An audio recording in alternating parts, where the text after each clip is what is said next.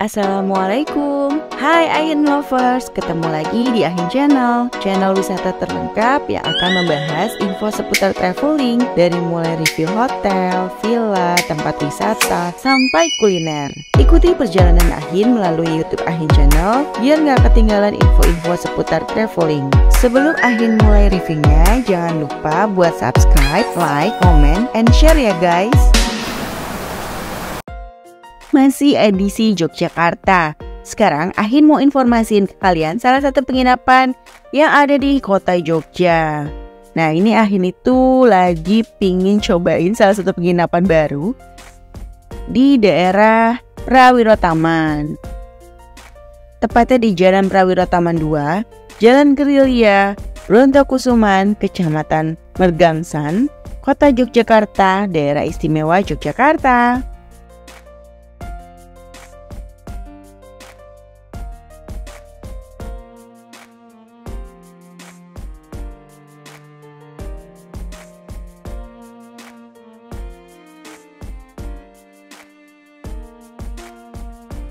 Penginapannya ini adanya di tengah kota ya guys. Jadi buat kalian yang mau ke sini, cari penginapan murah tapi ada di kota Yogyakarta, ini akhir informasiin buat kalian. Namanya Dipa Kinanti by Raminten.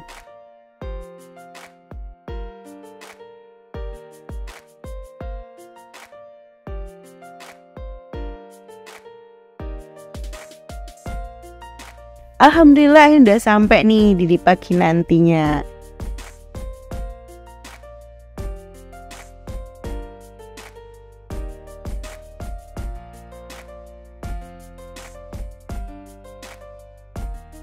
Nah, sekarang Ahin mau check-in dulu.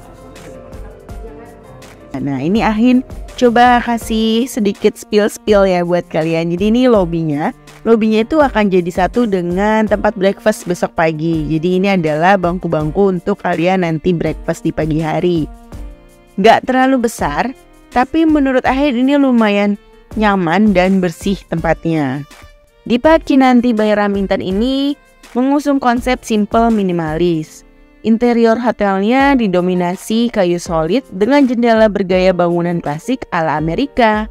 Ah, informasiin buat kalian juga, kalau yang bawa orang tua mungkin ini kurang nyaman karena di sini belum ada lift, jadi masih pakai tangga untuk menuju ke kamarnya.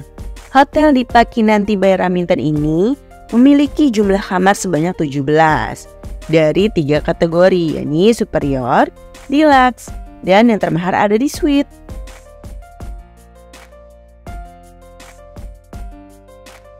Hotel ini baru diresmiin bulan Desember tahun 2022. Ahin kasih bocoran ya, di sini tuh ada tipe kamar sit, uh, yang buat kalian traveler. Jadi ada superior single untuk satu orang. Ini cocok banget buat kalian yang backpackeran sendirian. Cobain deh di penginapan di Pakinanti Bayar Raminten ini. Nah pas masuk ke dalamnya ini nuansa klasiknya berasa banget ya guys. Tapi Ahin suka yang banyak kaca-kacanya kayak gini.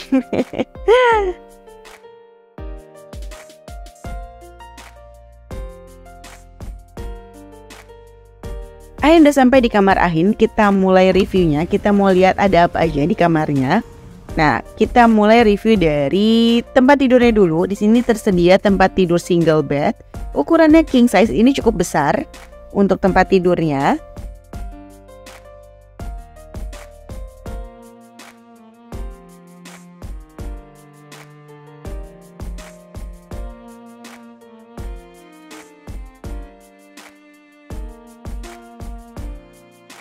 Di sebelah kiri dari tempat tidur ada telepon dan lampu tidur. Di sisi sebelah kanannya terdapat lampu tidur juga. Nah, ini untuk meja riasnya terdapat dua buah gelas, ada satu buah teko, lalu di sini disediakan juga cermin yang ukurannya cukup besar. Lalu di bawahnya ada tempat sampahnya. Lalu disediakan juga tisu dan di bawah meja riasnya sudah disiapkan bangku buat kalian dandan. Di sini disediakan untuk pakaian gantung ya. Tidak ada lemari tapi ada tempat buat gantung pakaian di sini. Lalu di bawahnya itu disediakan amenities, jadi ada dental kit, ada laundry bag dan di bawahnya itu disiapkan untuk handuk. Jadi keranjang ini sebenarnya dipakai buat kalau kalian naruh baju laundry dan dimanfaatkan sebelum naruh pakaian kotor kalian buat di laundry ini buat uh, laundry bag dan amenities. Disediakan sendal juga nih guys. Sendalnya lumayan bagus menurut Ahin. Lalu terdapat satu buah televisi.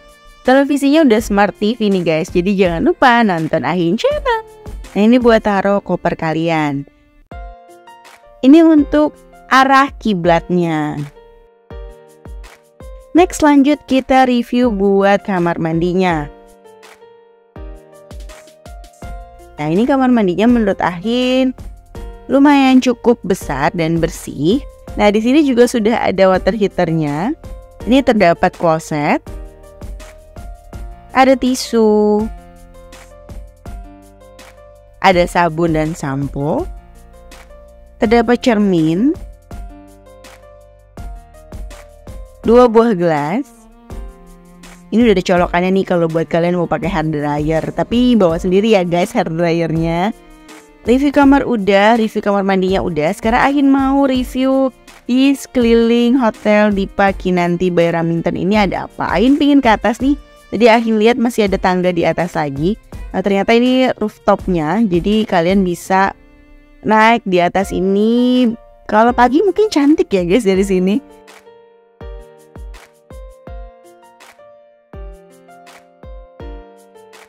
Nah ini terdapat musola juga di atasnya. Kerain mau ke bawah mau lihat kolam renangnya tadi sempat mau ke kamar lihat ada kolam renangnya di bawah. Jadi kolam renangnya itu pas banget di bawah dekat lobby tadi pas kita check in.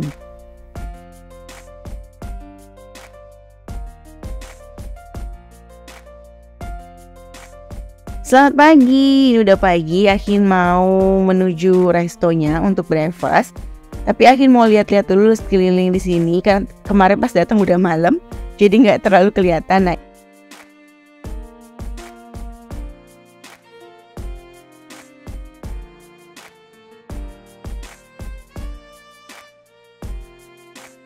Nah, ini disiapkan dispenser Sebenarnya ini ada teh kopi sama gula, cuman mungkin sudah habis ya, belum di refill lagi.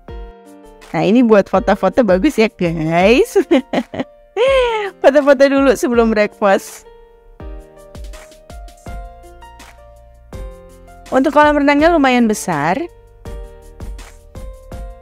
Nih jembatan penghubung antara kamar kayaknya bakal jadi ikonik banget ya buat tempat foto. Pasti yang datang ke sini pada fotonya di sini nih guys.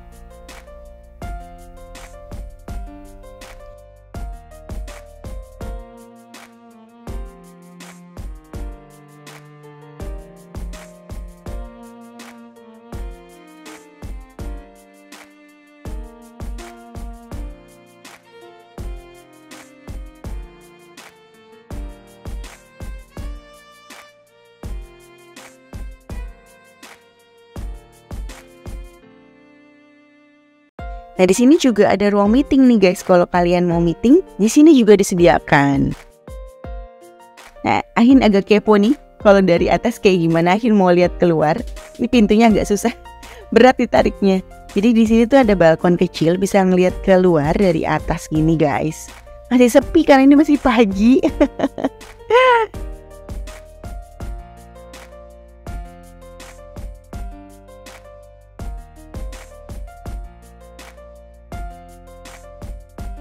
Nah ini dia tempat breakfastnya. Seperti yang tadi malam Ahin bilang Lobbynya itu akan jadi satu sama tempat kita breakfast. Jadi di sini tuh langsung.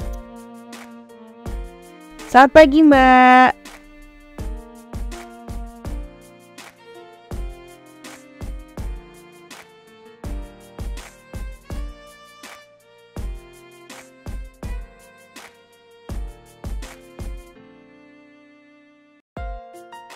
kita mau breakfast, kita mau cobain uh, makanan yang ada di di pagi nanti bayar Ramintan. Untuk breakfastnya di sini disediakan, di sini ada sirup jeruk, ada sereal juga. Lalu disiapkan juga ada susu, ada buah-buahan,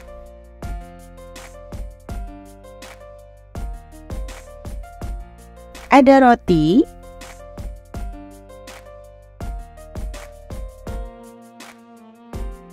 ini ada supnya, lalu ada nasi putih, ada cah kangkung, baru ahin baru kali ini, sarapan pakai cah kangkung, lalu ada mie goreng, ada ayam juga, Nah, ini Ahin cobain beberapa menu di sini.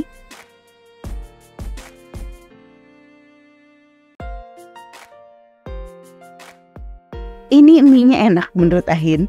Balik lagi ya selera, tapi menurut Ahin ini mie-nya enak. Udah selesai breakfast, Ahin sama Pak Su mau cobain jalan-jalan di kota Yogyakarta pakai beca.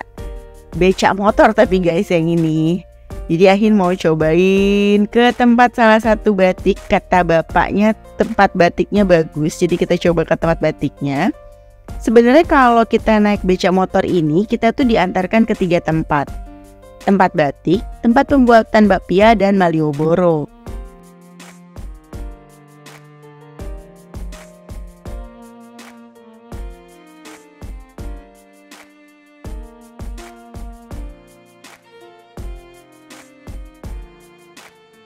Nah ini Ahin udah sampai di toko batiknya. Ahin mau lihat-lihat dulu ya guys.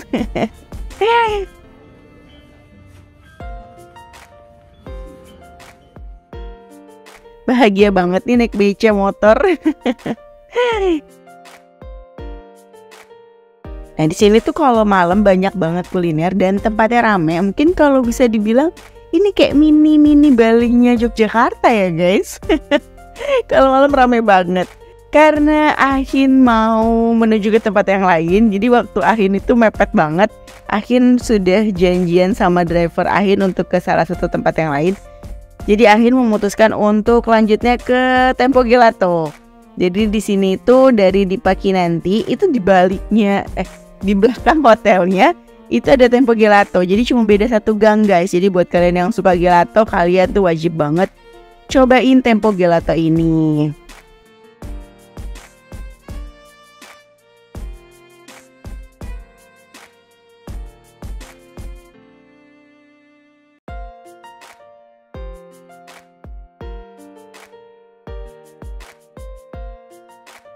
Nih guys, kalau mau beli tempo gelato di sini harus pakai cash ya guys. Jangan lupa sebelum ke sini harus ambil uang dulu. Pilihannya banyak, Ahin bingung mau cobain yang mana.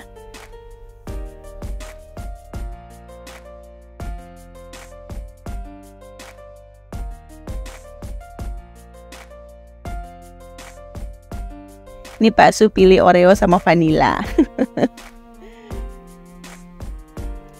Setelah makan gelato, Ahin mau balik ke hotel. Nah ini tuh tinggal jalan kaki aja, bener-bener ada di balik hotel uh, di pagi nanti by Raminten. Nah ini aja udah sampai, tinggal jalan sedikit, sampai deh.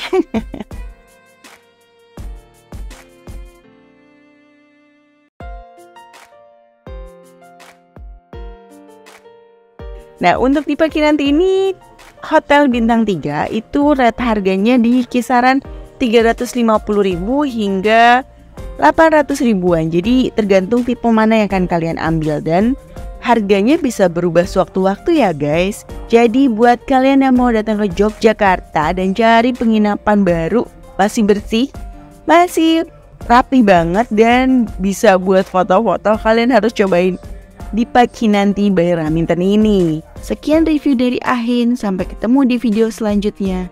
Jangan lupa bantu Ahin buat subscribe, like, comment, and share biar Ahin makin semangat buat videonya. Assalamualaikum.